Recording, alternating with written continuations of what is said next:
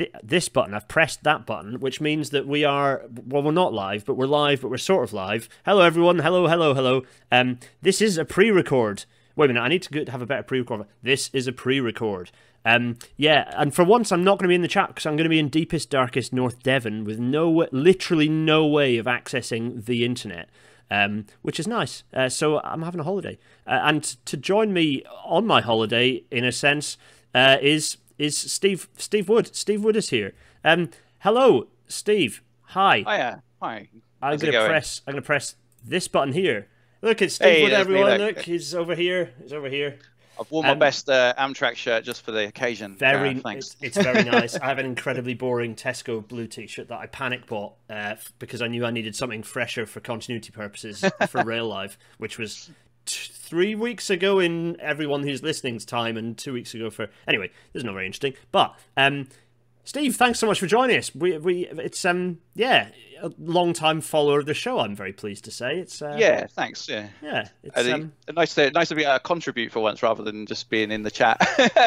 it's um, yeah, this is a really interesting. So, so what's in, what's double interesting is that this. Okay, it's not happened yet. Uh, on Wednesday night for, for us in our time time continuity, but in the in everyone else's time continuity, last week was another signaling episode. So um, there's there's kind of this is this is a bit of it. I mean, this sort of is a signaling episode, really, but actually it's a bit bigger than that. We'll, we'll get there. But yeah, we are we are here to talk about. Uh, let's let's go. Oh, actually, Steve, before I yammer on, before I tell what we're going to here to, to talk about, Steve, tell us what you do. Uh, my, so my name is Steve Wood. I am a, a signaling design engineer. Uh, so what my job is is basically I uh, I specialize in layout uh, design in Siglin. So in, in the railway terms, I do sort of concept designs. I, I look at uh, uh, existing layouts and uh, potentially uh, unbuilt layouts, and I, I, I, remodel them in a, the Siglin and to basically provide the most efficiency, the best layout for the customer, and also the, the, the sort of general approval process of that. So that's that's me.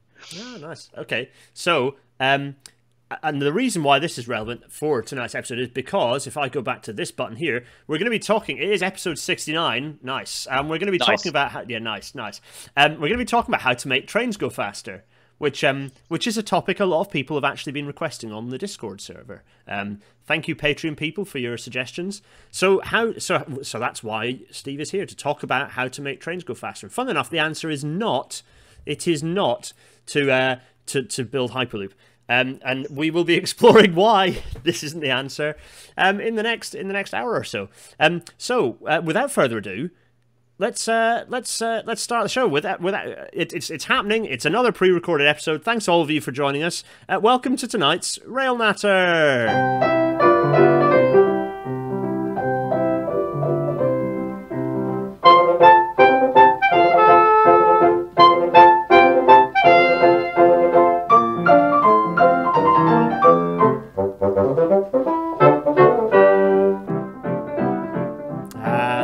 City 225, and it's going to now fade away. There we are. That got you bingo, people. I, I reworded my normal thing I say at this point.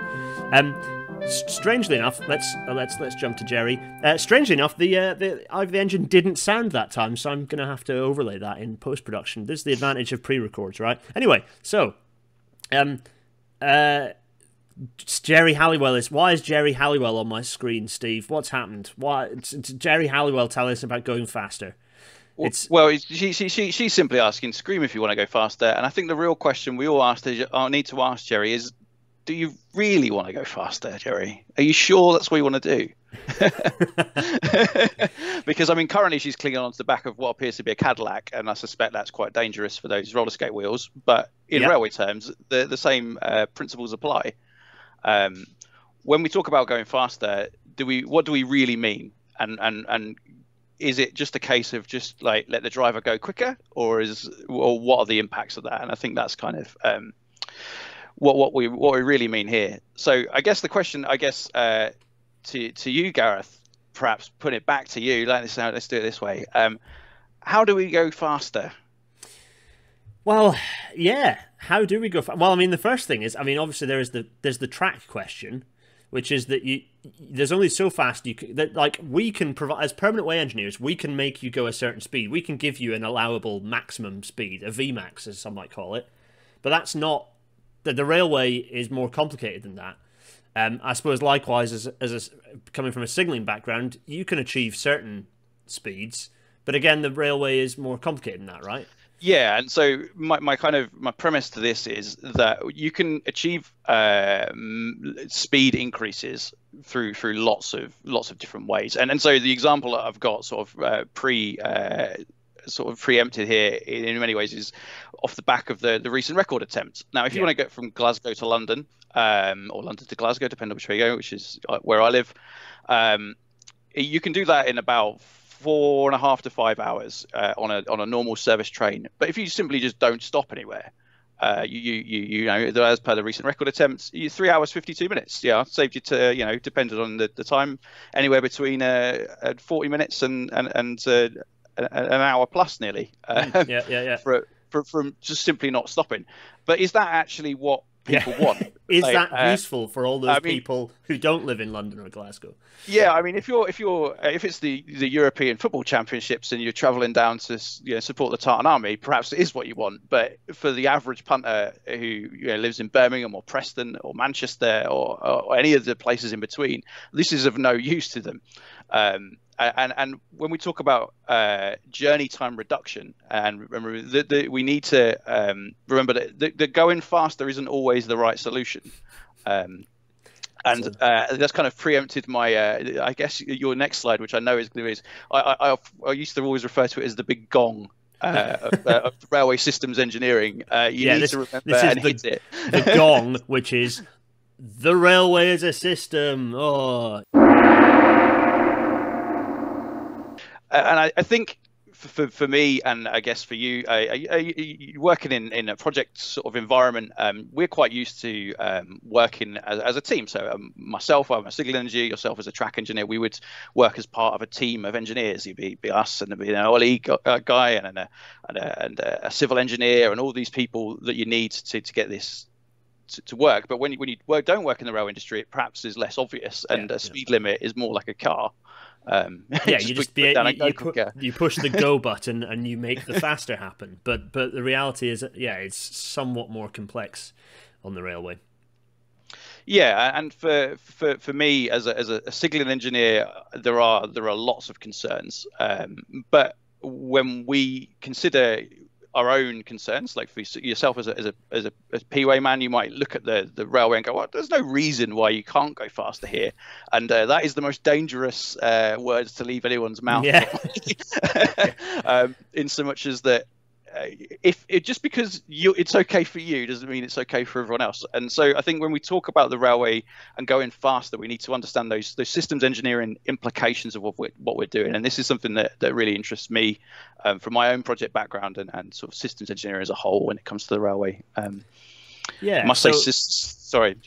No, no, I was going to say, yeah, exactly. I just thought I'd throw up some visual stimuli for our for our um, Natter guests, to uh, our Natter viewers, to um, to sort of yeah, to kind of prompt the idea of that. So yeah, there's loads of stuff on here. Um, so from your perspective, go go go through pop through a few of these, and I might chip in with my own thoughts as well. Yeah, uh, I guess um, we'll talk about signaling separately, but I mean, looking on here, so for, you've got a, a, beautiful viaduct at the top left there, um, which I mean, fine. Yeah, I'm sure it, it, may be able to support high speeds, but can it? What's the dynamic loading on on that uh, that structure? How is that impacted by the higher speeds?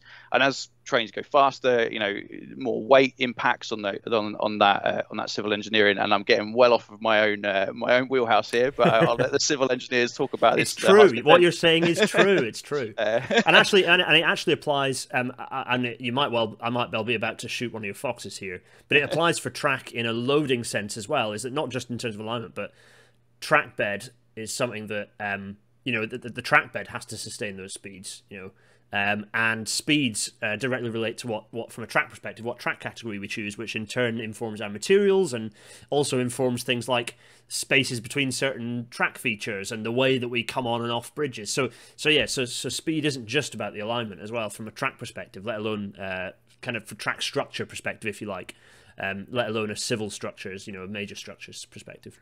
Yeah, and and as you kind of uh, butted up against there uh, for the the middle um, the, the middle picture there, the the, the the, the, gang of gang of folks with uh, with shovels, spades, and and and, and equipment.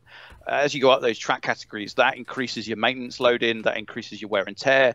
Um, particularly depended on, on how that alignment is arranged. What what was a perfect alignment that you know minimized wear and tear is now suddenly one that, that wears out a lot quicker because the the loading on it is is, is much more significant. Yeah.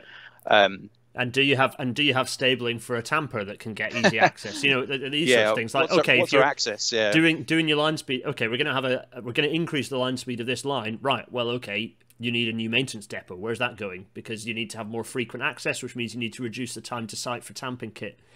X, Y, Z. You know, all these things cascade through. Uh, yeah.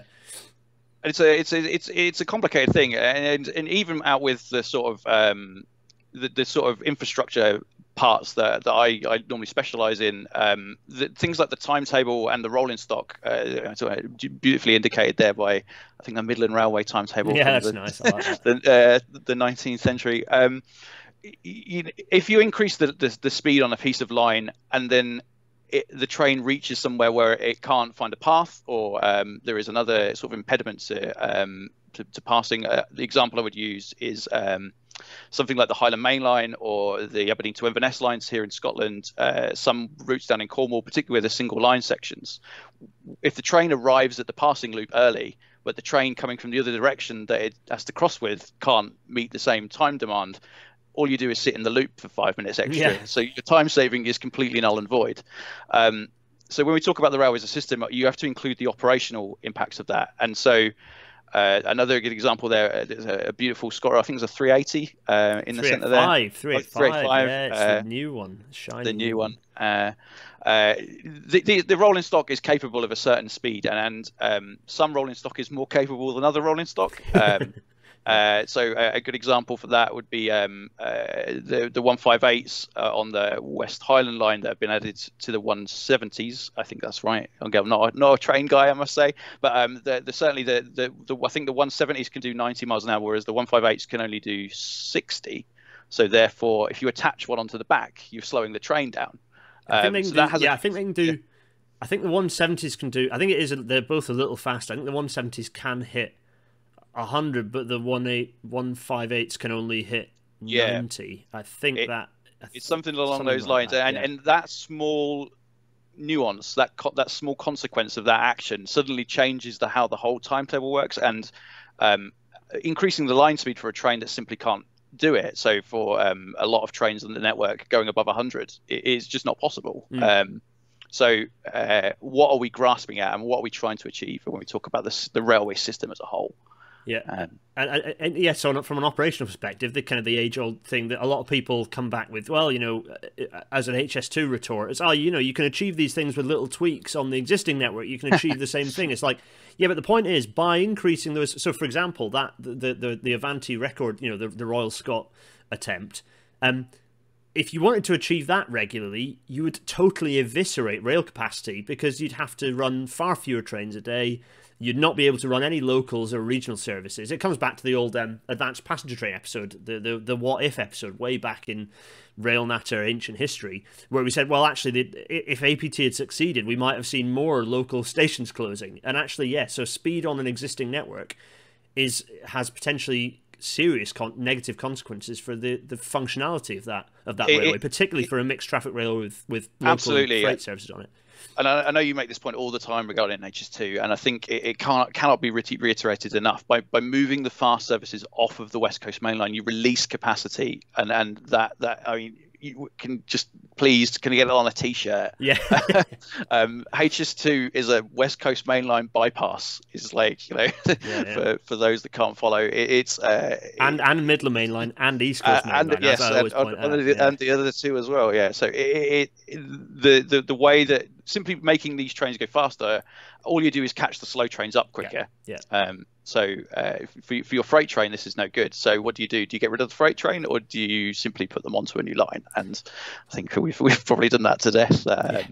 The, um, the HS2 arguments. Yeah, we, we indeed so, indeed so. Right. So here are two other pictures we're not talking about. One about track, which we have already covered quite a lot, probably. Uh, so just in case you had anything else you wanted to say, like I don't know, there's drainage in there, drainage also a thing, but yeah, also OLE. So uh, yeah, any, anything on the on on uh, on either of those that you wanted to point out? So, so um, overhead lines is a classic, and again, uh, uh, not not my my area of speciality, but particularly um, overhead line is, is graded, and uh, particularly so you, you can see there that the overhead line sort of wiggles left to right, but actually it also goes up and down. Um, and there's a, as with track, uh, a relationship between uh, the the amount that, that that wire can increase its height from the top of the train and, and, and below it again. So a classic example is a, is a level crossing. The overhead line raises up to go over the, the level crossing, um, so there's more clearance for things underneath it. And similarly, it might squeeze down underneath a bridge, and there's a there's a grade associated with that, which is associated with speed and a maximum amount that you can do that. And it's and quite so strict, as, actually. It's oh, it's very strict. It's quite yeah. a challenge. It's it's a serious constraint on any sort of work like this. I learned this fairly early on in doing some of this work. It's incredibly strict and challenging to, to, to manage that. Fair play to the OLE designers who managed to get it to work. Yeah, and if you've got a, a stretch of line with a bridge next to a level crossing, and then someone uh, clever comes and says, "Please, can we increase the line speed?" Uh, the, uh, uh the, the, the, the overhead line engineer usually throws something at you um, because it, it, for them this is the the most complicated thing they can do. Um, yeah. you know, trying to manage all these expectations, yeah. and then you're into mitigations, which we never want to really get to. Yeah, yeah. And uh, and the other thing actually with OLE, which often gets forgotten, so people forget the OLE OLE stuff, but also people more even more frequently forget the power supply stuff. If you want to be mm. running a load of faster trains, what's that doing to your power supply? Because that involves serious, heavy additional infrastructure, and not only that, it involves serious additional heavy infrastructure outside of the existing railway boundary, which means that you're increasing lead times and making things a lot more complicated uh, to deliver. Um, uh, shout out to Gordon who does who who's who always catches me whenever I mention anything that doesn't involve you know whenever I go run lots more frequent trains when HS2 finishes he says yes do that but to do that you need to start planning the power supply upgrades right now please. That's not um, Mr. Jilks, is it? It Gordon, is, Gordon, yes, uh, me, yeah. me and Gordon Jilks won the graduate scheme together. Would you believe? Oh, so they are. there you go. Yeah. there you go. There's a, there's a connection for you. there you go. Yeah. Yeah. Um, so yeah, so so power supply requirements. You know, if you're going to run more uh, faster trains, what are the power supply requirements? Uh, large, uh, likely. Um, so yeah, uh, yeah, lots of stuff, many many things to think about, and we want. To be honest, neither of us have scratched the surface there. Actually, there's, there's so no, and, and, an engineering project uh, just to increase a line speed, uh, you, are talking you know tens of people, project management, you know years of development work just to think this out. So we're not going to we're not going to scratch the surface of it, but you, I hope people will kind of appreciate that we're not doing this because we don't want to. yeah, we're not um, being awkward and trying to earn yeah. a, earn a consultancy fee. This is because yeah. these things, the, the railway is a very complicated thousand piece jigsaw, and it's not fixed and sorted until you've got every piece in place, right? Absolutely, yeah, and, and we don't we, we we're not uh, reticent to do this because because we don't we can't. Um, there's always a solution, but unfortunately, the solution often comes with a big price tag. Yeah, yeah exactly.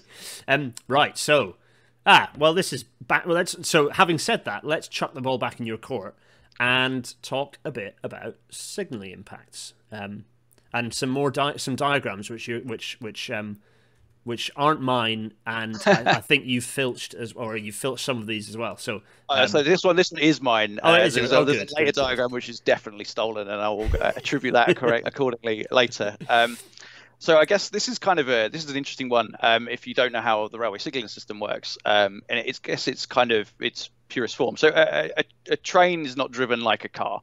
Um, you don't see the, the red light at the at the ahead of you like you do at a, a, a junction with your car and just stop the train.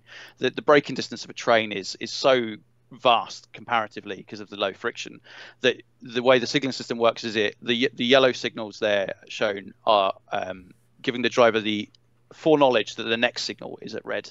So as the driver approaches that that, that yellow signal, they apply the brake and they stop in plenty of time before the red signal, and that's that's how the signaling system is designed, um, which is all well and good. Um, uh, the, the, signals are placed there, braking distance, and that's that's all happy days. But for those of you who can see the obvious uh, but coming, uh, as you increase the speed, um, those signals need to be further apart and it's not just one signal.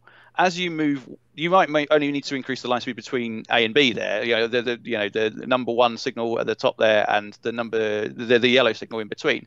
But because of the braking distance, um, cascade essentially. You move one signal back 200 meters, and suddenly the one behind it needs to move 200 meters. But unfortunately, there's a bridge.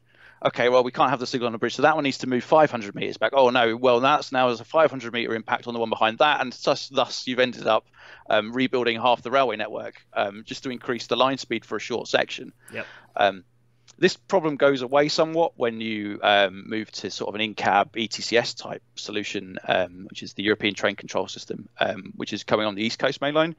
But for the vast majority of the the, the network, um, uh, th- this this is going to be a long-standing problem, and and line speed raises sort of out with the um, a, a, a, larger project will always have this kind of cascade issue with, with signal braking distances, and and that's kind of um, an obvious thing. Um, the other thing um, that we like to talk about in signaling is something called the headway distance. Um, so uh, if you imagine a train that is just beyond the red signal, um, so if you, if you uh, Gareth's excellent yeah, drawing John here, Madness, isn't there? Yeah, yeah, this looks more go, like yeah. the original one that you had. Oh, that's the, that's exactly what the original looked like. I've got a picture of it on just off the screen, yeah. and um, your is much better than mine. Um, that's the the distance between those two trains, essentially, the the point where the the second train is no longer seeing any sort of um, restrictive aspects. The, the, the, driver is purely driving on green signals, um, is a defined distance. And as you can see there, the red signal protects the rear of the the um, the the the, the uh, jankily drawn one. Uh, yes. and uh, the, uh, uh, the the the driver of the uh, the second train has only just sighted the, the green aspect of the, the signal head, and that distance is known as the headway distance. Um, uh, and obviously, depending on the line speed, um, that is an associated headway time. Um, but as you increase the distance between um, uh, between those those signals, that headway obviously increases. And while the speed might have increased to maybe compensate, um, you can draw a nice graph basically um, uh, that shows that as the speed increases, uh, the headway does not always follow quite as linearly. Um, which is probably a good explanation as to why London Underground trains all run at the same speed. 40 miles an hour, I believe, is the sort of standard mm. speed around. And because the reason being, that gets you the most bang for your buck. It's the it's the quickest journey time for the most capacity, um, and you can you can graph that quite nicely if, if you want if you if you draw that up. Um, it, below is a, a, sort of way of being very clever um, with the signaling system to get you a bit more capacity. Um, um, but yeah, um, I don't agree with the Laffer curve personally, um, but as you can see, there's a beautiful distribution uh, curve there, where there's somewhere in the middle is the answer. yeah, it's not quite that. That's me uh, very much John Maddening a thing to vaguely show you kind of what we're talking about.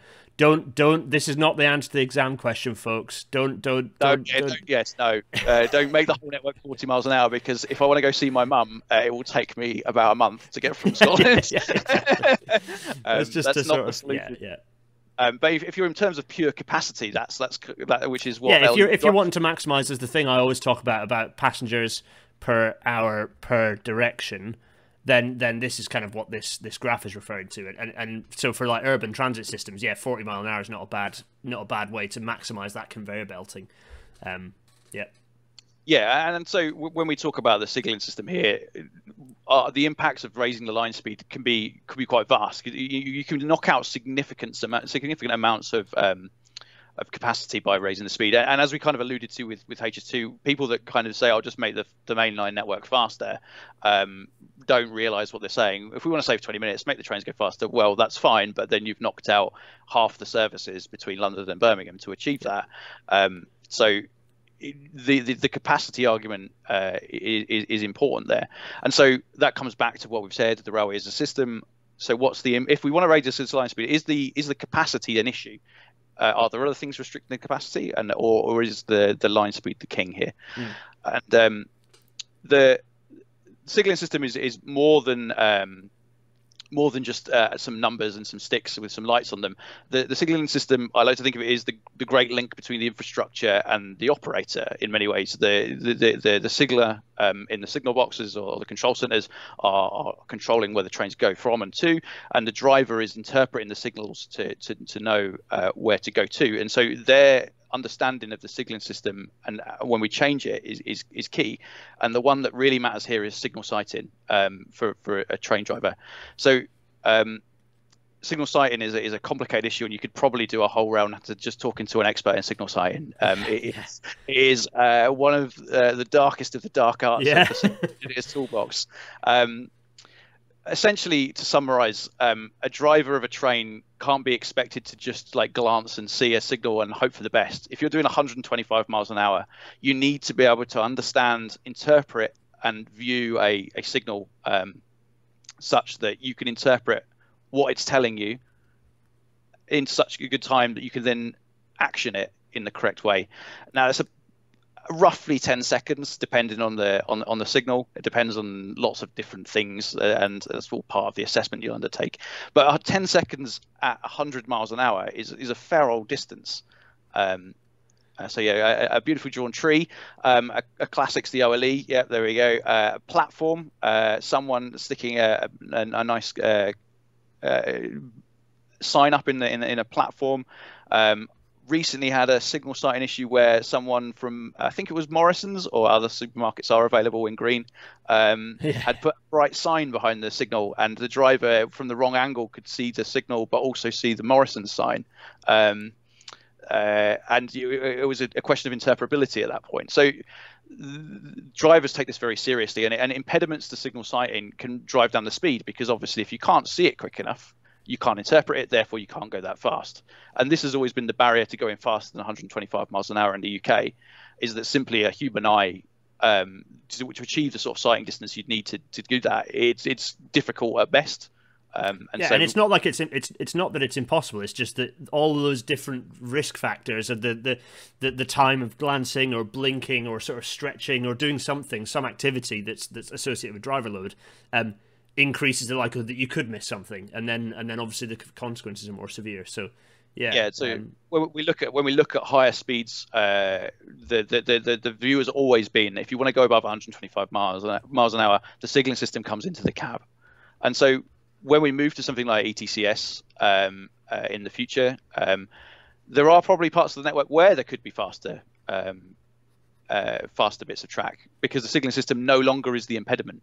Um, however, going back to the, you know, tying it nicely back to the systems engineering, we have to understand what those impacts are on everyone else. Yeah. From a signal engineer point of view, the problem's gone away. But for yourself in track, for the civil engineer, for the OLE engineer, and for the timetable planners, the timetable yeah. planners, suddenly know, we've just caused them a huge headache. Yeah, yeah, um, yeah. And it, it's kind of my, although I might be wrong on this, and I, and I wouldn't mind too much if I was, but my gut feeling is that on on our existing dedicated network. Oh, oh, sorry, not our dedicated, where we have existing mixed traffic lines. So basically, all of our current network, um, apart from HS1, um, where we have the existing network, I don't see us ever going over 100. And I don't see us ever going over 200 kilometers an hour, over 125 miles an hour.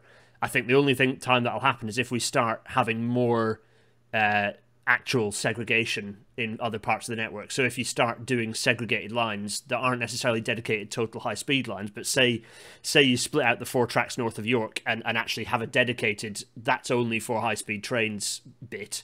Um, which isn't the case at the moment because you'll see all the little slow local trains will still use the fast lines, even though they're called the fasts. I don't think we'll ever see 125 mile, 125 plus uh, speeds because it hits capacity too hard. I, would agree, and the, the, in, in in braking terms as well, the, the 125 mile an hour um, braking of a um, passenger train balances quite neatly with about 60 to 75 miles an hour on a freight train because mm. a freight train takes longer to stop. So because of this superior sort of braking ability of, of a passenger train, the, the, the braking spacing that you can achieve with that versus a freight um, is comparable. So in terms of in capacity terms, those two neat, meld quite neatly together. Yeah, yeah. So as you as you increase the speed of the passenger train, um, that starts that, falling that, away very become a, yeah. that becomes a problem quite quickly. Yeah, yeah. And the other thing is above 200 kilometers an hour, the um, maintenance requirements on the track. 200 kilometers. This is one of the things I teach. 200 kilometers an hour is kind of a very useful threshold below which you can basically the position of the rail, the running edges, so that the, that actual maintenance tolerance can be quite flexible, plus or minus 25 millimeters, if you like. Uh, above 200 kilometers an hour, so 125 miles an hour, um, you start you basically can't tolerate the bangs and shakes because the energy is so much higher because of the speed. So actually, you need plus or minus 0.5 millimeters and so that threshold pretty much is at 200 kilometers an hour. Yes, you could sort of gradiate it a bit, but actually, what that means is if you start running things over 125 miles an hour, your maintenance liability will leap up tremendously. um, particularly if you've got mixed traffic running still um, with those lines. So yeah, I, I, think there's a lot of contributing factors that mean we won't see it. Um, certainly not on our mixed traffic existing network anytime soon. Yeah, um, yeah, interesting. So that so that's uh, yeah, yeah. Cab signaling. So, so not, this, yeah, that's that's that's that's all how you how you do that. But I guess this is all seems like bad news, and everyone who's watching yeah. this is probably going, "Oh, these boys don't know what they're on about." Like, how you can't? How can we reduce journey times then? If we can't make the trains go faster, uh, you know, how do we if we can't run at 140 miles an hour? How, how are we possibly going to achieve the sort of journey times we need to do to outcompete air? and, and do all these things, and, and I have just the solution for you. Aha, yes. um, and here it is. Make the slow bits faster. Is uh, yeah. Um, and if if I could get this uh, on a stamp, uh, I would stamp this on practically every report that comes out of every uh, transport uh, transport paper ever written because this is the solution to making trains go faster, mm. and, and I, I, say that with no flippancy whatsoever.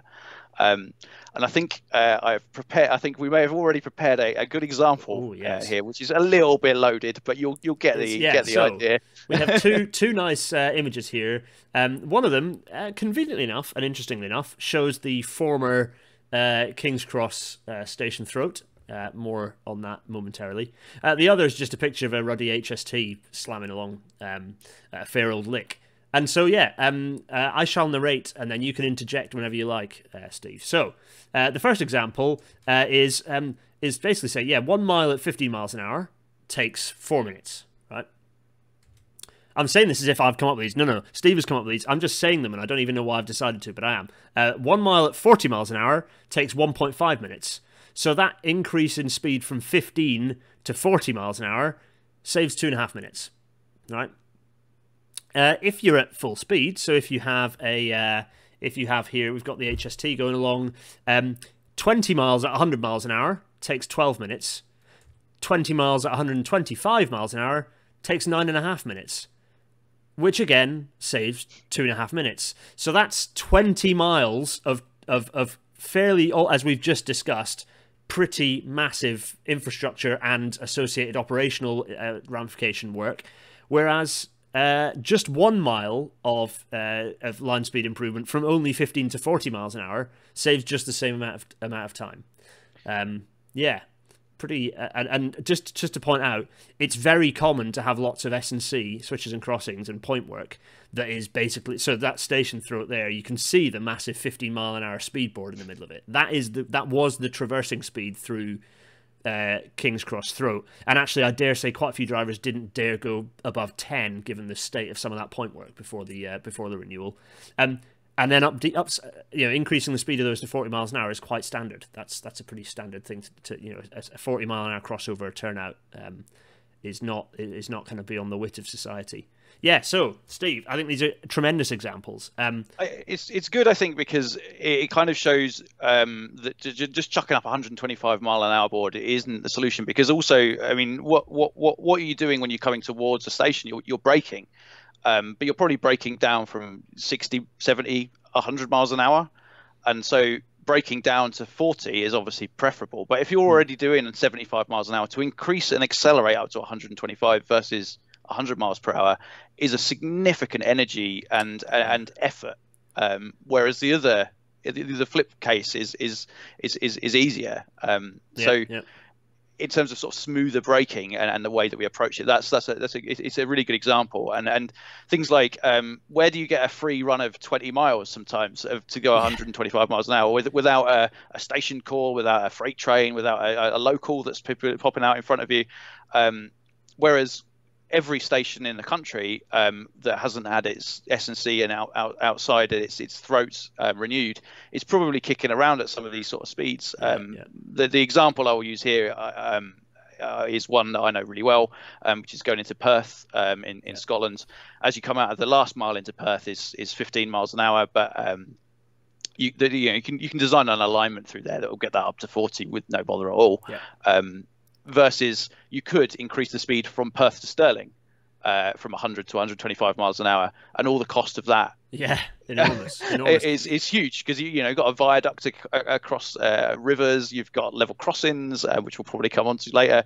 There's all sorts of, of things you need to sort out if you do that. Whereas simply renewing the S and C in not quite yeah. like for like, um, but you know modern equivalent form, probably a better way of putting it um, will save you the same amount of time. And it's a case of increasing returns in the in the opposite sense to diminishing returns because when you're at low in these lower speed areas, your your things like your overlaps, your signal, all, all the distances between signals and things are shorter, which means that you've got you can play around with things. Okay, it's it's all it's always tight in a constrained site, but you're not talking about huge knock on knock on knock on because the distances are smaller. You can play around with things a little bit. You've got a bit more breathing room, um, yeah, yeah, uh, and, the, the design constraints are the the things that are interesting. Like so, uh, plain line 125 mile an hour design, I could practically teach anyone to do that in a day, right? That's that's not that's not why a signal engineer gets paid uh, to do their job. It's thinking about complicated uh, issues in, in station throats like this. This is this is this is where the real the, the money is earned, basically.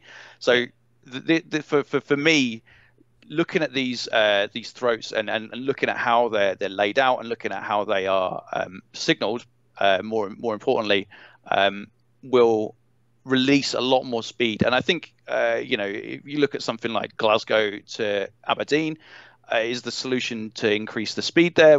Probably not, but there's probably ways of grabbing at speed there that exist where there's currently restrictions on the existing speed um, that will garner as much time returned as a, uh, a simple speed increase on the bits that are already fast. Um, yeah, like getting more stuff up to 90 along some yes. of those routes is far more uh, useful than than suggesting that the, the line speed, which yeah, it's probably should have put a slide in for nomenclature here actually. So and you might correct me on this because in, so in my head, uh, line speed is the top speed that you can do on a line. Um, so, for example, the line speed on the East Coast Main Line is 125 miles an hour.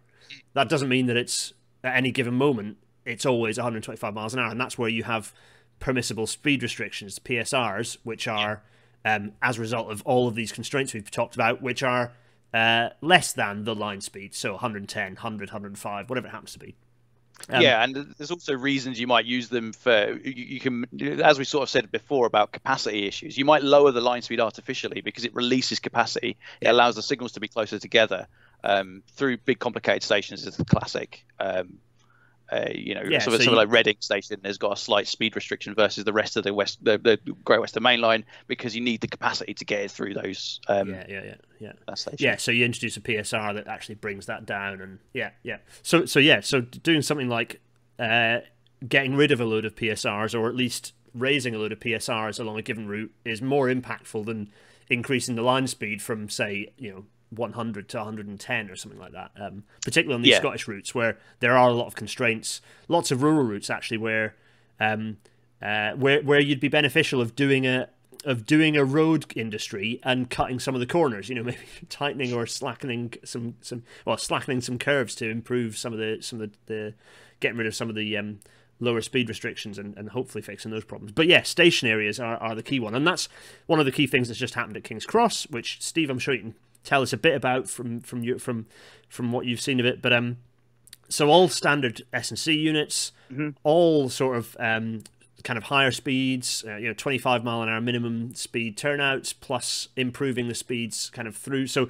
so basically, the driver uh, kind of sat on any of the platforms now can almost kind of by the they can basically go up to the top notch on the train and and move away at pretty decent pace because by the time they're reaching the higher, you know, the, the, the acceleration of the train is almost being matched to the to the kind of the available uh, speed restriction at any given moment. So they can open up, open the trains up far more than in the past, where they had to trickle along at Trundle speed until they were clear of um, Gasworks Tunnel or whatever, or even Copenhagen Tunnel uh, or whatever it was. Yeah, yeah, and that's a, a, a King's Cross is a perfect example. Um, for those in the north of England, uh, the Liverpool Lime Street is the other classic example of that. The, the the way that that has been changed is exactly the same as what we've seen mm. what we've seen at King's Cross. The 40 miles an hour um, allows you to sort the trains out higher speeds earlier into the right line so the driver can drive with confidence into the platforms into the buffer ends the, you know they're, naturally braking down to a speed for the buffer ends based yeah. on their own rules and if the driver can simply as you say when they're leaving place the train into the maximum acceleration and essentially leave it to to, yeah. to, to, go like that's that's the perfect situation hmm. um, in terms of in terms of capacity because they're, they're not having to artificially hold back the train um, particularly with an electric train which can which can accelerate at, some rate of knots. And, and there are other kind of knock-ons to this because okay we're talking about overall speed um, uh, kind of overall kind of kind of reducing journey times, if you like, or, or making trains inverted commas faster. But there are other second, secondary knock-on effects. So, for example, there are a lot of people who got very angry at the idea of King's Cross having one of its platforms taken out. Mm. One of the suburban platforms was taken out. But actually, the whole point is that you don't, because of this improvement in speed coming out of the station throat, you don't need that extra platform, and you're still gaining capacity actually you'd lose you lose capacity if you added the platform back in by taking that platform out you're actually getting trains out of the throat quicker, which means that you can get them in and out of the platforms more quickly, which means that you can fit more trains per hour onto those platforms. Um, oh, I'm warming up the gong just as you speak because this is this is a perfect example of it working as it should work. Um, this, the railway is a system, yeah. and as we as we demonstrate here by um, by increasing this, the the speed through that throat, you release capacity that you previously didn't have. Um, but obviously, the knock-on effect means you lose a platform. But actually, because you now have that capacity, you don't need that platform anymore. So there's a whole load of coping stones you don't need to maintain anymore. That's a load of CIS, uh, customer information systems, you don't need anymore. It's a load um, of extra potential platform space. It's reduced uh, platform yeah. interface risk because you've got fewer platforms to deal Absolutely. with. It's X, Y, Z. It's all these yeah. cascading da, benefits. Da, da, and you can you can see how, how you can easily write a thousand page report on this sort of stuff, um, and quite regularly, I'm sure I have. Um, yeah. and that no one other than other engineers that are interested to read normally. so, um, so that so that I think is, is a really good example of, of of the right thing to be doing to getting to, to, to improving and in this case as we say not just improving uh, journey times while sacrificing capacity but actually improving journey times and improving capacity. Good absolutely. good you, you, get, you get both here for, for you know, uh, not for free because nothing's free but um, certainly you, you get the, the bonus there without reducing the capacity yeah yeah so, um, so and you've already alluded to this, um, but the next thing you've got is giving the driver the confidence to go faster. Yeah, this is uh, this uh, this is the my stolen slide. So um, oh, shout oh, yeah. out, to, I'll, I'll uh, bring them up. To, yeah, here we uh, go. Andy Blakely from uh, from um, Network Rail in Scotland, who, uh, who did the original version of this, but this is our, our, kind of knocked together version of it. Um, the, the kind of theory here is train drivers um, the, the way they are taught to drive trains and, and the and sort of the, the, the way that the drivers approach their job is is is, is I guess um, safety is is obviously king, but they, they drive I guess in, in a slightly conservative manner. Like they, they as uh, when you see a yellow signal, the brake goes in. You're slowing down to stop at a red signal, and and when you see a yellow signal, even if you know um, that perhaps that oh there's this because of the conditions of the track ahead that I you know eventually that red signal will go away, you you'll, you'll slow yourself down. And and here's a good example on on the screen here. Uh, there's a platform um, that this driver is approaching on their train, and for some reason the signal that protects the platform is at red, and that could be that there's another train in the platform. That could be that there's something moving across the throat um, in front of it. There could be that there's no um, available overlap in front of the signal that, that exits. There could be all sorts of reasons for, for, for that. But for the driver, it doesn't matter. They've seen the yellow signal, the brake goes in, and so that that uh, that that means that they're slowing down and they're slowing down ag- aggressively um, to I think uh, I think the current depends on the on the, the train operating company, but I believe the, the current guidance is when they're about 200 meters away from a signal, they should be down to about 10 to 15 miles an hour. Um, so that's a that's a, a and, and, that can be a quite a significant drop mm. from from line speed. And that signal, remember, is at braking distance from the signal ahead, potentially at full line speed. So you could be a thousand meters out of the platform now. Um, so this could be that could be some fair distance going going into that platform, which you now have to accelerate up to.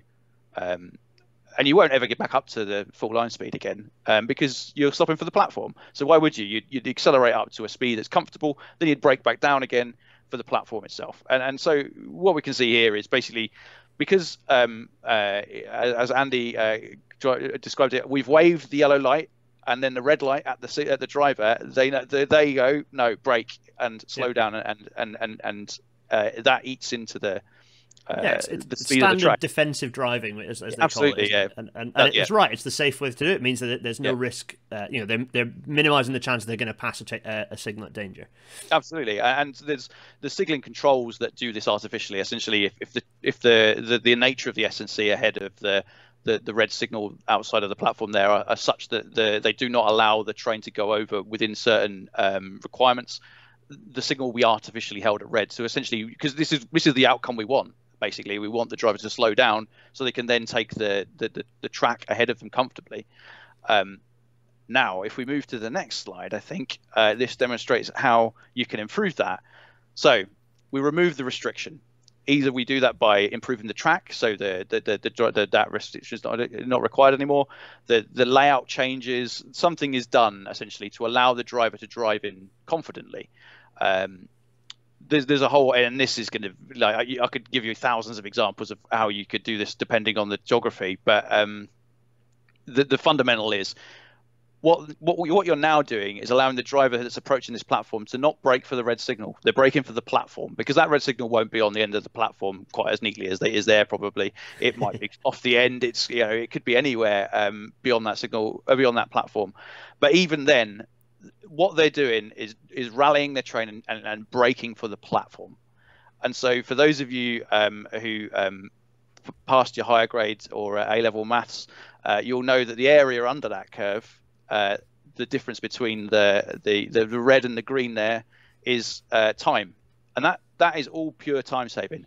And we've not increased the line speed there. That, that, is, that was without a single touch of the mm. line speed. This, the line speed is exactly the same in both of those examples, but the difference is here is the driver is given the confidence to drive into the platform at the maximum allowable speed that they can stop for the platform, and, and that is all time saved. So do we need to increase the line speed to achieve that? And the answer is no. No, because the speed here it is. The speed is this. This this is our, our, our speed here, and it's just exactly you know the limit is exactly what it was the whole time. Absolutely. flip yeah. back and forth, and you can see. Actually, I, I shall get rid of my scribbles. You can see. You can see the difference. There, there we go. That that area, this area here, is is the time saving. And that's not an insignificant amount. If, if you're coming down from 15 uh, to, to 15, 10, 15 miles an hour on approach to that, that that that yellow signal or the red signal in the um, the previous example, you, are it is a huge amount of um, of, of, time saving um, because the driver uh, of a modern train can can brake um, relatively confidently into that platform, passing that signal maybe at full line speed. To be honest, uh, so it, it's a huge uh, time saving overall without touching any of the underlying componentry um, without changing any of the civil engineering, without any of the uh, systems impact. That is a pure signaling change that allows that driver to drive more confidently. And there's probably thousands of examples of this across the network hmm. where you can we can achieve this kind of this betterment. Hmm. And it, I suppose it, yeah, it's it's interesting because it's looking at behaviors as much as it's infrastructure and engineering. It's behaviors and, and, and managing the managing the, the kind of the risk I suppose the risk averse nature of, of drivers, as as they rightly should be. I, I would not want a driver not to be risk averse in charge of a you know 400 ton train or whatever it is with, with me in it. Uh, my my old man drives trains, so I always ring him if I need an opinion on a train really? driver. Yeah. yeah. so yeah. Um. that's, that's, that's uh, yeah that's that's a useful uh, a useful sounding board. So. Yeah. Uh, right. The the next bit is is this is this point here, which is which is kind of a key thing, really. I think that's a thread through all of this. We talked about systems engineering, we talked about it all, but yeah, don't think that you can escape unintended consequences, right? You know, you can't. it's just not possible, is it? No. Um, yeah. And, and, I guess, yeah, the, the, cascade of effects we've talked about there are some of the obvious infrastructure um, sort of points that come with with higher speeds. You know, the impact on the, the civil engineering, the impact on the overhead line. These are obvious uh, things that, that even even someone who perhaps isn't as well versed in railway engineering would you know, with a little prompting would pick up. All right, yes, of course, if you go faster, the impact on the civil engineering is going to be bad. But there are other things that happen on the railway that do have relations to the speed, and I think those impacts are always uh, not always missed, but sometimes uh, underplayed and a, a, key example for me is always level crossings. The number one risk uh, to, to, to, any railway system is um, when you allow a car to drive across it. Um, uh, it fundamentally the, the, systems are safe. Like they, they, they, let's, not pretend they're not. But when you allow a, a, a car to um, to encroach within the railway boundary fence, suddenly you, you, have a problem. And so we manage that via warning times. There's flashing lights, there's barriers, there's cameras, there's all sorts of stuff.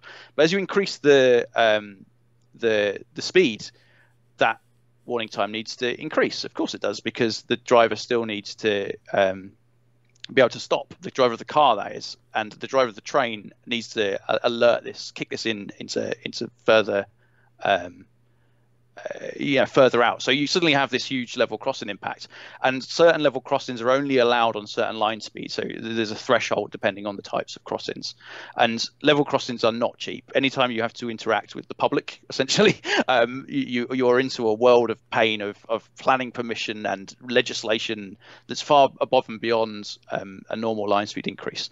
And so it's not a case of simply moving some striking points and that train can go faster. You might end up doing a, a multi-million pound level crossing renewal um, or building a bridge, which is yeah, the real answer. Bridges, yeah. so I, yeah, I, I, before you even started speaking, I was like, right, I'm going to draw some level crossings because that is. And so the other thing, so so we talked. Obviously, there's the car ones, but but um, you know, user work crossings is yes. a good example, and it's something that maybe uh, you can have these still uh, operating quite high speeds, but there's the behavioural element, and actually we did this. This this relates to not just this. This covers a lot a lot of different things on, on the railway. Um, we I was working on the Tottenham uh, Metro, uh, working on the Metroflow project, which is um, changing, which is re- essentially redoubling, but with exist two mostly two existing tracks and there's that behavioural element of well previously freight trains went round the back and now they're going to be going down the front. And it's the same for things like level crossings. If you increase speed people are used to seeing a train in the distance and knowing oh that train i know i can cross safely when that that's just about to see the train. I can get across safely. If that train is going you know 10 20% faster all the, all those thousands of people who potentially are crossing there a year all the behavioral stuff changes, all of those people are now going to be putting themselves in greater risk, and that's that's you know without any change actually happening to the infrastructure necessarily at that point.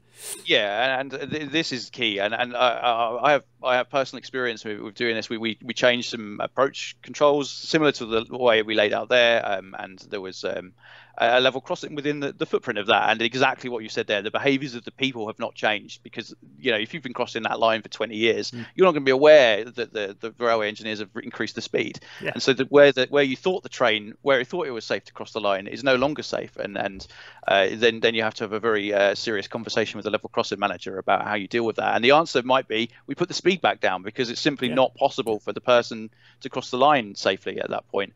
And so now we've we've undone everything we tried to do. So we've done all the good work, but we have to un- undo it again yeah, because yeah. actually the, the, safety of the, the public, particularly those who are not actually involved in the railway system, are is is paramount, and and and we have to take responsibility for that. Um, and, and these kind of consequences you, you don't really know until you start looking at it. Um, and so it's, it's kind of hard to um, hard to hard to quantify in some ways. Uh, another sort of classic is um, there's more than just level crossings for for, for staff working on the railway. Um, even with um, some still with lookouts, but uh, hopefully that's been phased out quite quickly.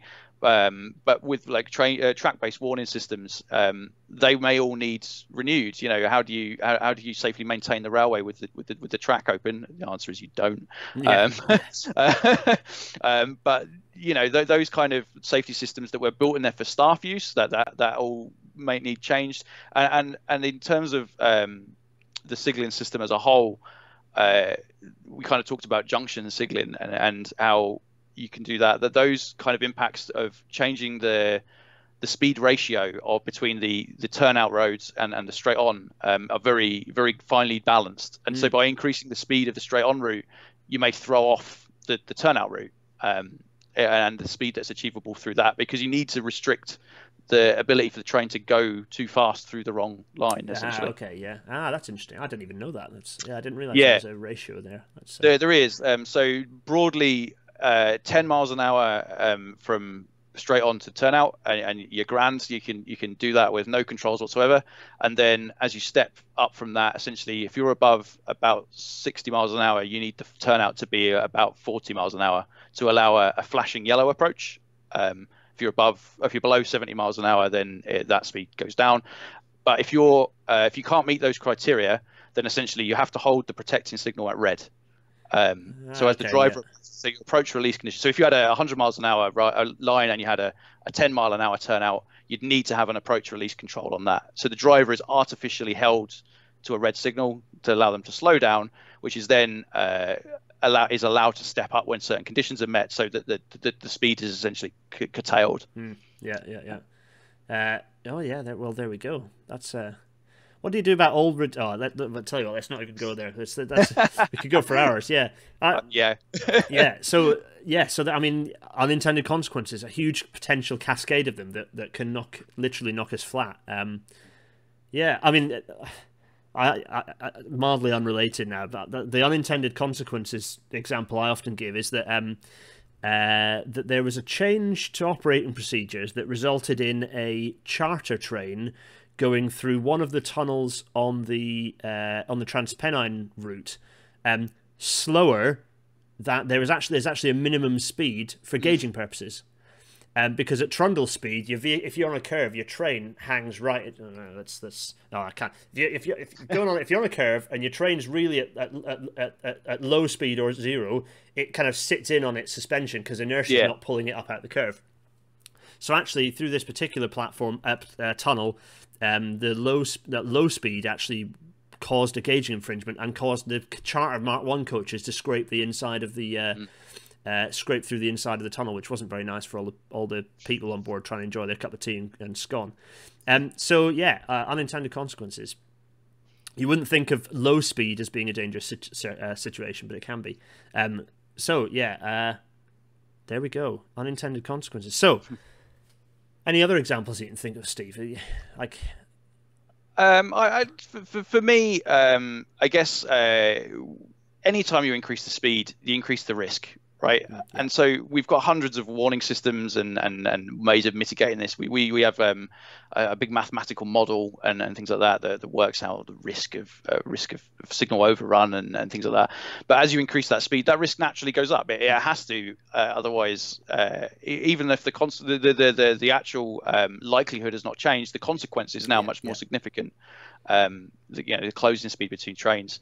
Um, so when you talk about these types of things, it, it becomes uh, particularly complicated, and we, and we, need to be sort of mindful of the um, the way that, that that's managed and all those kind of the, the, the way that the the system's safety risk is managed against the output you're trying to achieve.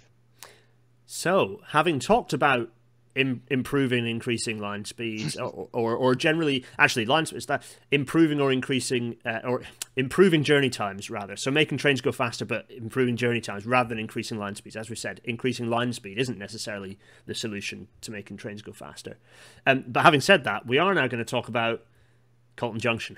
of course we are. and there's going to be a Colton Junction Rail Natter episode because obviously I'm totally obsessed with it. But um, but this might maybe is a teaser for that because uh, it's interesting and and and you alluded to it being an interesting thing, and and particularly you alluded to the most interesting bit, not necessarily being the most um, visually sexy bit. So um, but anyway, so uh, for anyone who doesn't know, Colton Junction here's here's here's the middle of Colton Junction, or rather, actually, Colton Junction is three separate junctions. There's there's Colton Junction South. There's or is it South Colton Junction? It's, then there's Colton uh, Junction. I'm looking at my, my drawing I've got here. It is Col- Colton North Ladder, Colton Junction, and Colton South Ladder are the correct ah, names. That's ah, interesting because the signs, the signs, the, the, the signs in rail alphabet say either Colton Junction South or, or South Colton Junction and vice versa. So um, Anyway, yeah. See what the drawing says when we lift it up in a second. the drawing says, and the drawing is king. So forget the signs on the on the forget the signs that I video when I go past. Anyway, this is this is the sexiest part of Colton Junction in terms of P-way, which is the the equal splits um, at 125 miles an hour, sending trains in either direction. And often, the reason I like this Colton Junction is because, well, huge numbers of reasons. Uh, you know, foresight of engineers, simplicity, but one of the key interesting things is people often say, well, you know, grade separation is what you have to do to get the best junction, right? And actually, that's not always true. Um, because you know you've got to introduce if you're if you're doing grade separation, that means you're introducing things like gradients, which means that you're potentially slowing trains down as they have to go. So actually, potentially you aren't. It isn't the best situation. And actually, I'm not going to name the project because it's mildly contentious, but there is a big project going on at the moment somewhere on Network Rail's infrastructure where a grade separation. Break, isn't the best option actually, and, and we de- we actually as as, as designers, uh, Arcadis actually took that option, you know, showed that option was unnecessary. Um, to achieve uh, the, the, the the kind of the best, most optimized capacity, kind of a bit like Colton Junction. Anyway, I've waffled about Colton Junction enough. Um, however, is there anything you want to say while this picture's up, or shall I get the uh, shall So- I get the layout plan up? from a signal engineering point of view, like, like I alluded to earlier with the, the 10 mile an hour split, this is a perfect example of, of a, a completely equal um, split. So you don't need any junction controls here to, to, to, to protect this junction because it's so fast in both directions. There's no no reason to apply a control here. Um, so it acts as plain line in both directions, which is quite interesting. But if you if you show the drawing, then Ah, it yeah, might become more apparent why why why I'm less interested in this bit and Yeah. more interested in the other bits. So, so basically, for you, by this point, this is just plain line in each direction. So you don't care from a from a signaling perspective. Eh, right? It's, Yeah. it's, It's the done, trains are just running along, and whereas for me, this is the sexy bit because it's Yeah. Look at that. Um, right. Okay. Drawing. So here is uh, here is. I'm going to use my mouse. I can't John Madden on here, sadly, viewers. I do apologise. Um, but what I can do is, uh, hopefully, this is fairly clear. For those of you looking at this on a mobile device, not a chance Yeah, Um, yeah, sorry. but if because it's it's very it's quite a faded scan of a but anyway right this is the that's this is the sexy bit it doesn't look very sexy on the layout plan whoever drew this oh man come on have a bit of have a bit of self-respect this could look so much We're only working one dimension in Siglin, so don't expect anything. Yeah. So. you don't care about dimension. lonely. yeah. So um, but this is but this is an interesting bit. So uh, let's start. Uh, let's start this direction for you. These ah yeah look it does say Colton North Junction. There we are. It says junction, not ladder. Interesting. Weird. What bit were you looking at? Have you got another I've got, different? I've got the quail map open, Oh, so I that's what the quail see. map says. But yeah, the uh, uh, this is the what the Siglin scheme plan says. Um, so, uh, so here is so here is one of the ladders, and then at the other end here is another ladder. Now, what, when we say a ladder, what we mean is a is a cross is a series of crossovers allowing a connection between parallel tracks, right? Um, parallel over a six foot or parallel over a, a ten foot. Uh, actually, I think this is a wide way here, but anyway, it's kind of a moot point. Um, so the, the different intervals between the tracks. So, um, tell us why. Tell us, d- describe. Go on, give us a bit. Explain why this this junction is interesting and why these bits are the important bits. So I, I guess uh, as we kind of talked about before, the, the if you if you imagine a train is coming from uh, let's say uh, the bottom left, it's it's coming along uh, from uh, it's the it's the down main, I believe. It comes coming towards coming, coming towards uh, the the Colton Junction Oh, proper. uh, down. So yeah. Yeah, so yeah, so um, it's actually off the edge of the drawing. Pick the worst possible example, have, yeah. um, but we need to work in both directions. And and as the train kind of comes through this junction here, um, it, it is essentially not impeded by any of the, the infrastructure as it comes along. So it, it flies through this uh, this junction here, and it, it carries along down along the down main, and, and you're in uh, you, you're really happy days as you carry along the the down main. Now. If you're approaching on the uh, the down, uh, is it the down Normanton, I believe? On the so Uh, if you scroll yeah, to so the that's left the again, top top one, right? Is the down Normanton. uh, I need to get the my is down- my down and up right because down. Wait a minute, let me get my. That's the down Leeds, yeah, at the uh, top, ah, sorry, the Uh, down yeah. Normanton, which is this one here. the one there. So um, the signal's actually missing because I didn't screenshot it properly. But if you imagine a train um, coming on that line, now there's two options you could take. Either you can go straight on as your mouse is doing there, and unfortunately we're going to end up in a big train crash if you do that. Um, because the two trains will, uh, will, will will not be able to pass each other. There's you know the red signal and all that. I'm- I'm being flippant, but the, the there's a conflict there. Yeah. So what the ladder does is it allows you to move across to the down Leeds at 70 miles an hour, which is a fair old heft. Yeah. Um, um, on a, I think it's a 100 mile an hour approach here. So Yep. you, you've got a, a fairly good run into that um, with uh, relatively little impediment. With, with barely slowing, so one train has um, slowed from 100 to 70. The other one has carried on at 125 miles an hour. Quite happy days, and they're they're, they're not um, impeding each other in any way, shape, or form. And, and what that allows is um, the, these trains uh, to use these ladders, and you can use them in both directions. You could, you could you could work out a scenario in the opposite direction as well. If I um, if I think, but I'll try not to think on my feet too much. Where a, a train going the other way um, moves in the through the ladder and and the junction in such a way that they essentially it's like a beautiful ballet. They kind of like dodge around each other like Mm. a like a, a tai chi or something. Like as the the trains kind of um, nip around each other in, in different manners. And with the two the two ladders uh, lined as they are, the junction almost doesn't matter um, because it allows the two uh, the, the, trains to sort of maneuver around each other in in sort of a multitude of different ways. And um, if you can get hold of a a, a, um, a, quail map or a diagrammatic version of the the layout, um,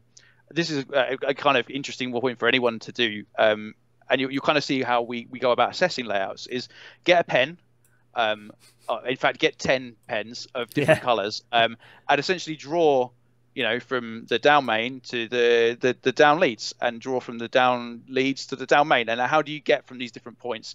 Um, some you won't be able to do, some you will. But what you'll notice about this junction as you as you start colouring it in is a re- relatively few conflict points, um, and there's often multiple options for getting to the same place, mm. which allow you to manoeuvre around things that are also going on. And when you start thinking of it in those terms, what what this is doing is it allows um, multiple moves to take place at once in the same way that a, a, a grade separation does. But this is a, perhaps a, beautiful example of how to do that without grade separating. Now you need a lot of space to do this. You wouldn't want yeah. to build this in uh, in South London, uh, like uh, or, or, this is or, this is where yeah. yeah. this is where the, the Southern Railway folks start. The, you know the Southern region folks start laughing at us because we or, or laughing at me because I've I've plied my trade in in uh, Eastern region where uh, we do have more space to this, and the benefit of you know the National Coal Board paying for this as well. uh, thank you, the National Coal Board uh, because this, of course, was as a consequence of the construction of the Selby diversion. So yeah, this got put in, and also you got the benefit of, of, of nice space on the old roads towards Leeds. You know, the the, the York and North Midland routes towards uh, Normanton and, and Leeds. So yeah, we did have lots of space. It's true. Yeah, and if you and if you've got the the converse example of, of, of a tight space, I mean, if if, if I was to pitch you um, my uh, my counter example of where grade separation is is, is a perfectly good uh, you know, the perfect design. Airport Junction on the Great Western Main Line is, uh, for my money, one of the best designed junctions in the country. Um, in terms of the way it allows that capacity to be released um, for the trains coming on and off the, uh, the, the airport line towards Heathrow versus the, the ones on the main line. Now, pre Crossrail, it was probably quite bad, but post Crossrail, it's it's uh, it's it's much improved. It's a really really neat piece of design, and it's a beautiful sort of um, I guess counterexample to this in, in that it's very compact. Yeah, and Colton, yeah. obviously, if you've got loads of room, this is exactly how you do it. Um, and and uh, so for me, those two examples are probably if you want to release capacity, you can probably get one or both of those somewhere in your your layout. So if you've got loads of room, you get a Colton, bang that in in in your your layout, and suddenly you've got a load of capacity uh, with less bridges. But if you're a bit more tight for space, um, something like an airport junction, chuck that in, and suddenly you, you don't have moves. Um, of, so what kills capacity in terms of junctions is um, trains wandering across them. Um, and I, I, I, use the, the term yeah. wander uh, uh, yeah. professionally there. The, the the train is the train is moving through the layout slowly because it has to. It's held there by the S&C. Um, but what these layouts allow you to do is to move those trains where they need to be sorted out to be in the correct place at the maximum speed that you can achieve. And so this is a great example of um, how to do that at 125 miles an hour, which is very rare. um, you, you, know, being able to do this sort of um, this sort of um, beautiful sort of ballet of, of, trains at the speeds achieved here is, is quite exceptional. It's uh, what I'm going to do is is now while this is this is going to be seriously pro. Oh no, I've not managed. It. I've not managed it. Uh, which is there's Colton, and I'm now gonna, and I'm now going to do this, and then I'm going to do this and this. There we are. This is this is some serious magic. and then if I do, uh, if I do this is this, we have Airport Junction. There you go. Look at that. That's why I was squirreling away in the background there. Um, actually, I do have a single. There is a single line diagram that I could have pulled up. In fact, the, I think this if you get if you go in fans of the show, uh, I'd strongly recommend um, Carto Metro's map of London, and I think Carto Metro's map of London is. Uh, has this quite nicely shown uh, in terms of it kind of nicely shows the, the, the grade separation. Anyway, here's a picture of it. So this is what a grade separated junction looks like, where you have less space and you, but also I'd say where you've got um, you, you can afford to do the gradienty stuff because the trains that are using the gradienty stuff are all lightweight metro trains that don't really care yeah. about gradients, right? Yeah, and, and this is a this is a great example because the um, the, the, the, lightweight metro trains here can achieve um, gradients that simply wouldn't be possible with other trains. You know, I think these are one in 40, one in fifty climbing yeah, yeah, um. Up, up, these these ramps. They're they're they're steep. Um, but you, you, on the sort of the, the right hand side of this drawing here, um, uh, you, you, that that that's 125 mile an hour main line running line. That's the that's the that's the main line between mm. London and Bristol. Um, so trains uh, nipping off here and getting in the way of them is, is going to be uh, problematic. You know, every train that um, if you didn't have this this kind of layout here, every train that comes from Heathrow, which is a relatively regular service, slows down every train coming from Bristol. So you need a very comprehensive layout here, yeah. and this is a good example of how you do that. Um, release that capacity by keeping the, but keep the speed. Um, the the speed through here is, is still pretty significant. I think it's I think it's got 75 mile an hour turnouts, yeah, yeah. Um, particularly on the on the down main, I believe. Uh, uh, so it, it's it's a great bit of design, and um, a shout out to my colleague Will Cavell, who was the uh, the man uh, uh certainly behind the uh, the Siglin design of this this this particular layout, oh, nice. yeah. um, back in the the Crossrail days. where I where I, I, applied my trade when I first died, I didn't do anything quite as sexy as this when I first died. Unfortunately, I was I was stuck at Maidenhead Depot. Oh, mm. um, it's yeah, it's in- and, and what's interesting is that um, people often sort of pr- suggest that you know, digital signaling and ETCS and, and, and ERTMS, so ETCS, European traffic uh, train control, sorry, European train control system, and ERTMS, European uh, rail traffic management system, uh, amongst along with other things as well, uh, that gets called digital, you know, digital railway. Um, often call this as a kind of a panacea, and that it might somehow solve lots of problems. But actually, for that to work well, we actually need more of these. You know, ETCS uh, and ERTMS work best when they have segregated, nice junction layouts, not when you have really complicated, dense messes of junction layouts. Uh, and we have a signaling design engineer who can can can add to that. But but yeah, yeah. My, my, my understanding is that we actually will need to build more of these actually to, to get the best out of it. Yeah, the, the, the, two go hand in hand. There are there are things you can grasp at with ETCS certainly that you can get more capacity, but something like this layout, there's no way of signaling this with ETCS that improves the capacity yeah. beyond what's already there. You, maybe a few seconds here and there that you could just nip away at, but the um, the overall grand scheme of things is you need the bridge. The, the reason the bridge got built is because you need the bridge. Yeah. And um, the way we designed Siglin, uh, I know we'll get into some deep lore now. Um, the the the, um, the the Siglin system isn't uh, designed, you know, uh, like a car or a tram where you, you, drive to a, you know, it's a constantly moving um, object. It's it's set up as a series of routes. Um, so from an A to a B, and in, in a classic signaling system, it's from one signal to the next. And even in ETCS, that's how it works. That's how the, the block system that underpins the signaling safety system is is derived. It's a mm. requirement in law, um, not just uh, not just uh, the railway thinks it's best. It's the, from the Regulation of Railways yeah, Act yeah. that, uh, that that that is laid out.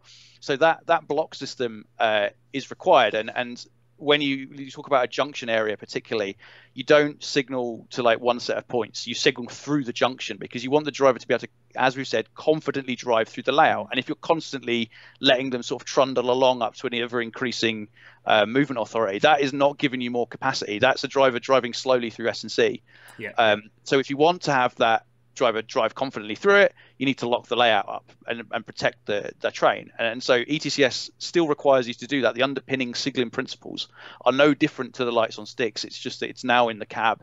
Um, you can play a few tunes on it. You're not constrained as much by braking distance, but um, the, the the way because that's all calculated in the train.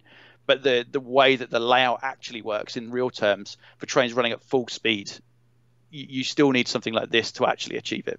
Yep. Yeah. Steve, right? Well, uh, oh, I mean, we've good grief, we've covered a lot there. I mean, I've just realised, I've just realised we overrun by uh, 13 minutes as of just as I said it there, uh, which is not the worst overrun we've done. Um, uh, let's let's do this, Steve. Thanks. Uh, thanks, thanks, for that. That's been really thanks interesting. For having me. Uh, yeah, uh, yeah. It's a pleasure. I could yeah. talk to you about this for hours. So yeah, we could both definitely go off on, on, on, on one for ages. We, I mean, we managed to sneak in a little extra chat on on on, uh, on Airport Junction there, which is nice. Also, weirdly, Airport Junction for a while was the place where we had uh, some RT60 swing nose crossings for a while that then got ripped out. uh, because uh, they didn't work very well. So, uh, which people now who watched uh, Rail Natter two weeks ago uh, will know what I mean by that because I videoed some Vossloh Swingers crossings. Anyway, right, I digress hopelessly, as is so often the case. Um, I'm now going to press. Uh, I'm going to press this button here. As ever, we are available in podcast form. Uh, for those of you who don't care for the John Madden uh, diagrams and, and pictures and who just enjoy relaxing listening to this, uh, often as a, an aid to insomnia, then um, then yeah, we're available on all good podcasting platforms. Um, also, also, also, the the the, the ads. Uh, so Patreon uh, supporters, thanks as ever. Uh, this was one of your suggested themes. I'm getting back, sinking my teeth back into the list of requests. So. Um, yes, if you're a Patreon supporter, you can support me at patreon.com slash Gareth Dennis, and you get to choose future episodes, themes, guests, uh, and you get the there's the bonus video from the Rail Live episode, which you've all been watching and enjoying, I hope. Uh, and also, you get asked inane production questions by me, like for example, how does this work, and help. Um, so uh, the Discord server is where the chat happens. Um, there are lots of people in there who you can chat to. Uh, GarethDennis.co.uk slash Discord. And then if you just want to throw loose change at me violently, then uh, paypal.me slash GarethDennis is where you can do that. And also, because I keep getting told off for not doing it, yeah, please do press the buttons that you can press. Uh, ideally, the favourable ones associated with this video on the YouTube. Uh, thanks for doing that. Um, and now, now over to so Steve. We have here the definition of Refuweegee which I really like. Um, Refuweegee, a person who upon arrival in Glasgow is embraced by the people of the city, a person considered to be local. See also Glaswegian. We're all for somewhere. Uh, I did that in an East Coast accent because I decided to not try my Glaswegian accent and just do it in my kind of slightly more exaggerated own accent. You, will get cancelled by the East whole Coast. nation of Scotland, or yeah, at least the like, city of Glasgow. So. Yeah, I was going to say Glasgow will cancel me if I like try to if I as a, an East Coaster try to impersonate a, a Weegie accent. I, I have a variety of different Weegie accents, and I, am not going to do any of them on this uh, uh, on this episode. I won't dare because my wife will burst in through the door and, and beat me about the head. So, uh, um, um, so we'll but, not do that. Yes, Steve, tell us about tell us about Refuweegee. So, so Refuweegee are a, a, charity based in Glasgow, and um, what they do is um, they, they, they produce sort of welcome packs and uh, and provide support to um, people arriving in Glasgow, particularly, but also the west of Scotland um, and all over Scotland as well.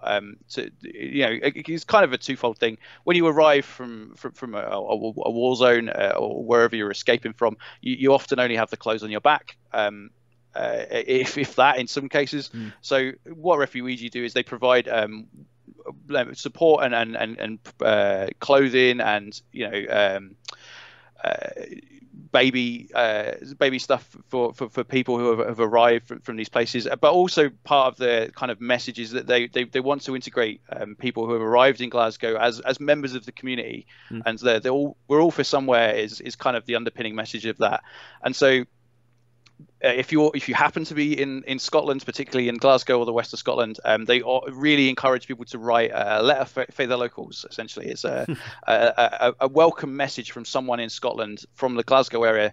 You know, welcome. We're glad to have you here. We we, we really support it. And, and uh, recent actions, I'm sure you've talked about in uh, previous episodes in Glasgow. You know, refugee solidarity is part of the the city's city's lifeblood, and um, we, see, we see so much about how. Um, the, this collection of islands is getting nastier and nastier. And there was a brief moment of uh, a brief moment of like, uh, actually, no, UK government. This is this is what Glasgow thinks of you, um, Foxtrot Oscar. And it was a beautiful moment of people just out and just make it. It, it was a, it was a dick move by Priti Patel, and it was resoundingly uh, booted up the arse. Um, and it was a really beautiful moment where the whole community just came out. You know, hundreds of people just came out to support these people who are trying to get basically the, the Home Office that needs to be abolished, by the way, um, wanting to just drag away.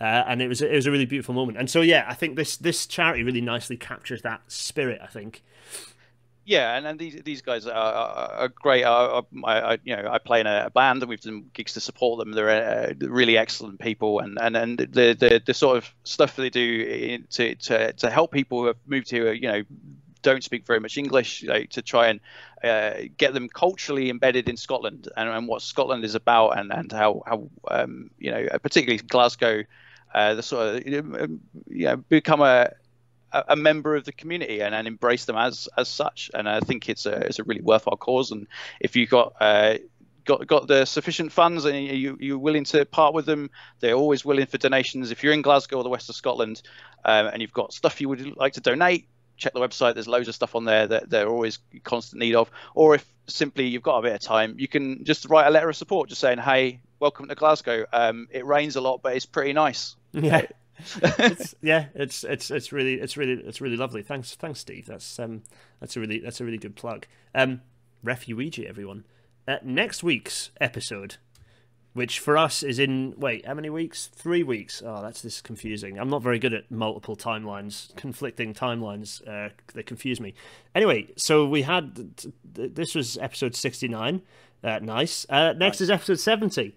Uh, and we're we've talked of speed and the things that, that, that are important about speed. We're kind of moving on to another um, theme uh, or or railway myth that comes up a lot, which is the idea that uh, reopening the Great Central is a, is an alternative to HS2. So we're going to respond to that by saying reopening the Great Central is no alternative to HS2. That shall be that episode, which will be fun. It's just me basically uh, grumbling and moaning, but hopefully talking some inter- you know describing some interesting things related to speeds and curvature and uh, and timetables and steam trains, and it should tick all the boxes for everyone. And we can all, it, it, might well, there's a good chance it can be a short one, which this one has now not been by 20 minutes. And uh, and also, you can all get involved in the chat because it'll be a live one as well, which is nice. Um, which means I can come back to, to giant faces. Steve and I's giant faces can return, uh, kind of medium sized face. Steve, thanks for that. That's just been such a fun episode. I've enjoyed that a lot. Um, thanks, Gareth. We've covered so much nerdy stuff. People love the nerdy episodes, though, so it's great. Yeah, and uh, you, you know, I, I, I am uh, in the Discord. If you want to ask me signaling questions, feel free to fire them on there. So, a secondary plug. Uh, please nice. like and subscribe. I've always wanted to say it, so I'm going to do it. Oh, yeah. Everyone tells me off for not doing it. You're there to tell it. Please like and subscribe. Yeah. Nice. I like it. Um, yeah, Discord Discord server is actually a really fun place because it's full of it is full of technical people and technical discussions happen. And if you're in the industry and you have questions, you can come in there.